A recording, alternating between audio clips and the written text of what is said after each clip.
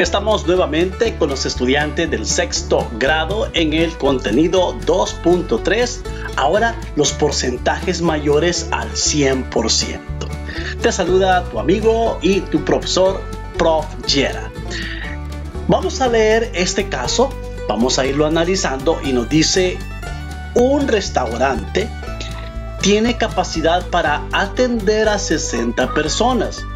Si el sábado atendieron a 90 personas, ¿qué porcentaje de personas con respecto a la capacidad del restaurante atendieron? Bueno, para ello vamos a analizar un pequeño esquema por ahí. Fíjate, el restaurante tiene su capacidad máxima, es decir, el 100% para 60 personas. Pero, ¿qué ocurrió? Dicho día, que fue el sábado, atendieron más del 100%, es decir, 90 personas, es decir, mayormente la capacidad de 60. Entonces, el objetivo es encontrar el porcentaje. La lógica me dice que va a ser mayor que el 100%. Entonces, ¿cómo haremos en ese caso? Bueno, analicemos entonces. Fíjate bien. En primer lugar, vamos a calcular el valor de la razón de la cantidad de personas atendidas y la capacidad del restaurante y su respectivo porcentaje. Fíjate de qué manera.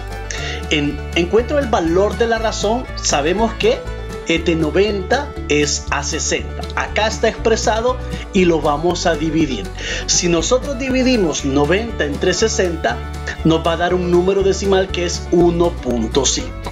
Ahora, ese 1.5, recordemos que vamos a obtener el porcentaje, es valor de la razón por 100. Y al multiplicar todo número decimal por 100, este punto lo movemos a la derecha dos espacios. Entonces, como aquí hay una cifra decimal y luego el otro, recordemos que el otro se va a completar con el valor de 0. Por lo tanto, el porcentaje es del 150%. Entonces decimos que el porcentaje de personas atendidas en el restaurante fue el 150%. En el gráfico el porcentaje se había representado con la letra A. Aquí está. Entonces el valor de A va a ser 150%. Y completamos la gráfica. Fíjate, 60 es a 100, como 90 es a 150. Bien, vamos entonces ahora a decir lo siguiente. Cuando el antecedente es mayor que el consecuente, el porcentaje que se obtiene es mayor al 100%.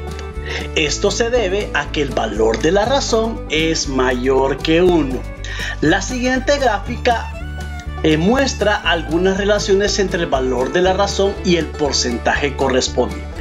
Fíjate bien en este caso, aquí tenemos el valor de la razón cuando sea 0.25, 0.5, 0.75, 1, 1.25, el parámetro va de 25 en 25, ¿verdad? Este es el valor de la razón. Ahora, si multiplicamos 0.25 por 100, estamos hablando del 25%. El 0.5 es el 50%, el 0.75 el valor de la razón, su porcentaje sería el 75. De 1 es 100, de 1.25 es 125. A partir de acá, fíjate, el valor de la razón es mayor que 1. Por lo tanto, el porcentaje será mayor que el 100%. Entonces entremos de lleno a los ejercicios. Vamos a analizar el primer caso. Completa los recuadros de razón o porcentaje faltantes en el gráfico. Nuevamente tenemos otro gráfico donde tenemos el valor de la razón y el porcentaje. Solamente que el parámetro va de 0.2 en 0.2. Ahora, en los primeros, fíjate bien, recuerda que este número decimal se va a multiplicar por 100. Por eso que el 0.2 al multiplicarlo por 100 nos da 20. Esto a multiplicarlo por 100 es 40. Entonces la lógica nos dice que al multiplicar 0.8 por 100 su porcentaje será el 80%. Si es 1.2 por 100, ¿verdad? En este caso sería el 120%. pero ahora tenemos el 160%. ¿Cómo hacemos para encontrar el valor de la razón? Del valor de la razón al porcentaje se multiplica por 100. Del porcentaje al valor de la razón se divide entre 100. Al dividirlo entre 100, 160 nos quedaría 1.6. Luego, el 200% estamos hablando que el valor de la razón es 2.